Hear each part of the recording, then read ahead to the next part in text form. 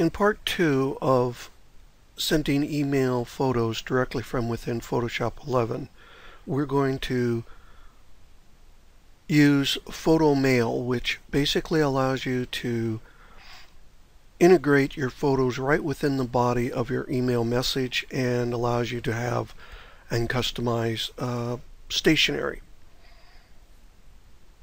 So let's get started.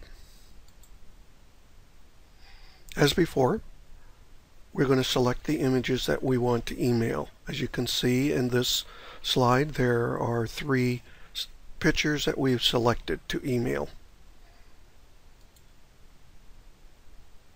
In the upper right hand corner of the main organizing window, we're going to click on the down arrow to the right of the share button. Then we're going to select photo mail from the drop down list. In this tutorial we are assuming Adobe email service code has previously been received and entered.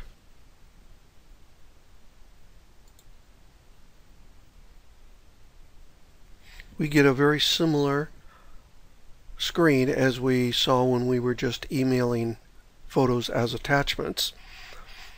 If the organizer contains captions for the selected photos, you can add them automatically to the email as shown by the check mark about mid-screen. Again, we will just send the email to ourselves to be forwarded later to the people we ultimately want to get it.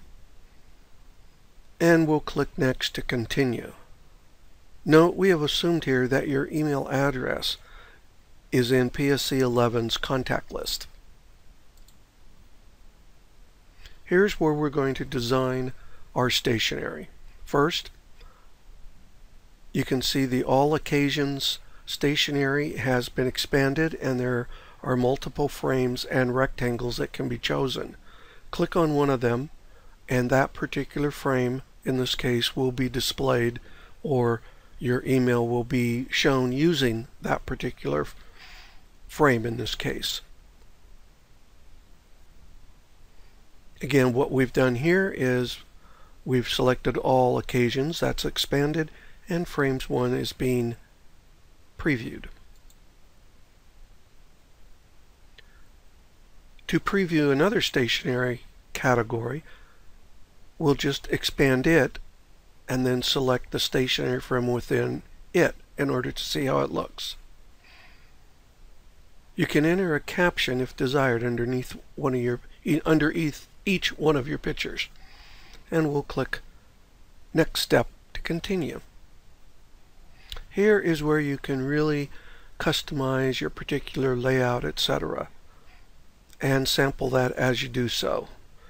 You can sample and select background, the actual layout of how the pictures are going to appear, their sizes, the text that'll be used on any captions, etc., and borders. Some of these stationery that uh, we may select does not allow customizing of all these, especially the background, which can also be selected here. Then we're going to finally click on Next.